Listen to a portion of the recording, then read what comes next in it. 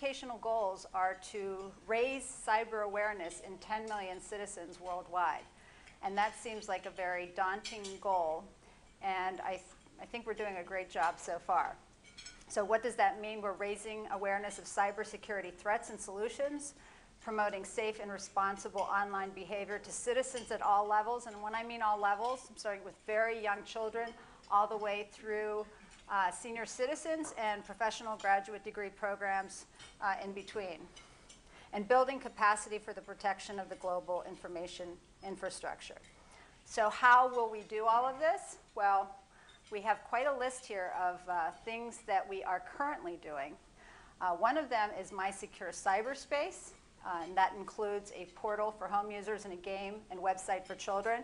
And if you haven't had the opportunity yet, we have a demo outside in the atrium uh, for you to demo the game and take some materials uh, home with you.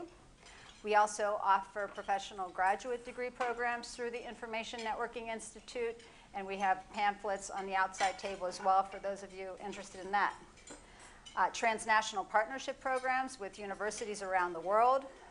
Uh, we offer the NSF CyberCorps program, um, the Scholarship for Service, which many of you have probably heard of. We've graduated 113 students to date, and uh, those students are currently serving in uh, federal capacity of some sort, either through an FFRDC or a federal agency.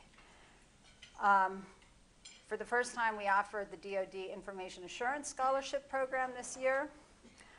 And uh, for eight years now, we have been offering the NSF funded Information Assurance Capacity Building Program for faculty from minority serving institutions. And then we offer the Safe in Cyberspace class for older citizens. And I'll get into each one of these in more detail.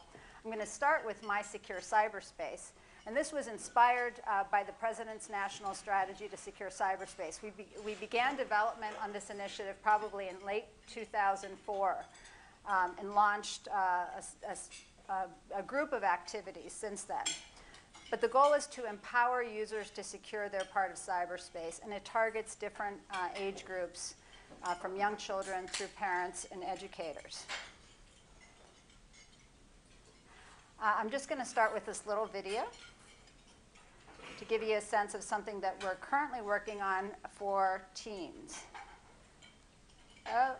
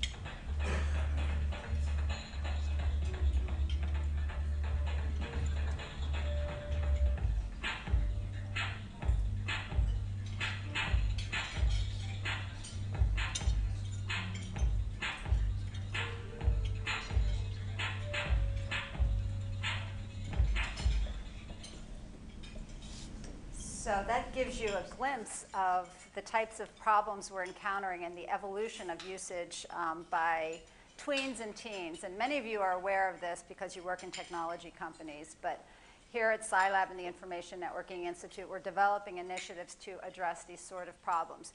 This is actually going to be featured on WQED's uh, website. we are um, actually announcing a partnership with PBS and the local affiliate uh, WQED on Monday, uh, starting with web-based information, web-based resources, and then um, webisodes, and then uh, TV interstitials using the characters from the game that you'll see in a little bit.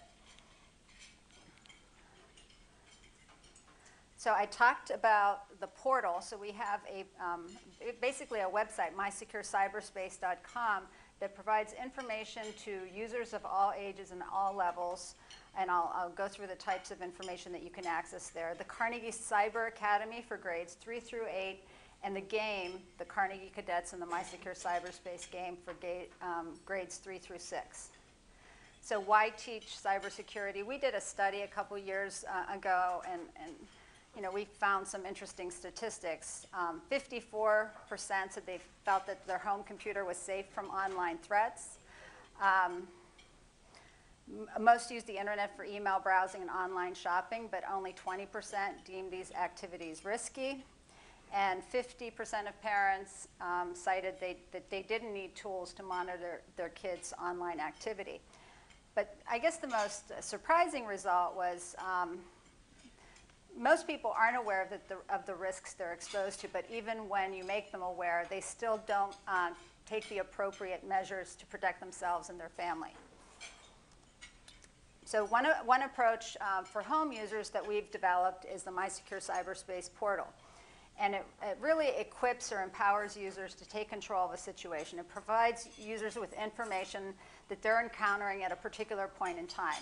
And why uh, we, we named this My Secure Cyberspace, so it's drawn from the President's uh, national strategy, the 2003 national strategy to secure cyberspace, where in it the President said each citizen is responsible for securing his or her own part of cyberspace. And I interpreted that to be what I'm doing online and where I'm doing it from. So these variables you know, create very different circumstances. And this uh, has a very, the MySecure Cyberspace portal has a very complex um, backend um, engine that generates uh, web pages for users on demand given these various variables. Um, some of the topics included, and these are just uh, a sampling of, of topics. Um, and we have feature articles, case studies, problems and solutions, tools, encyclopedia, news and alerts. This is updated on a daily basis. We have thousands of chunks of information on there, and uh, people can register accounts and, and um, subscribe to RSS feeds and have this be their portal for cybersecurity uh, information. It's used by school districts to train teachers. It's been used by the FBI and other community groups, and it's a great resource that we will continue to um, maintain and develop. So some statistics, uh, more than a million visitors have I've visited the site since 2005, including 30% um, international visits. So about 105 different countries have accessed it. So a glimpse of the types of traffic. Um, direct traffic is about 48%. And the most visited articles, Online Shopper's Guide to Security Practices. We put this up around the holidays. Should your child have a cell phone? And green computing and privacy practices. We have more than 350 articles and 200 encyclopedia entries. And we encourage you, all of you who are interested in online safety or have websites focused on this, to link to our uh, website as well.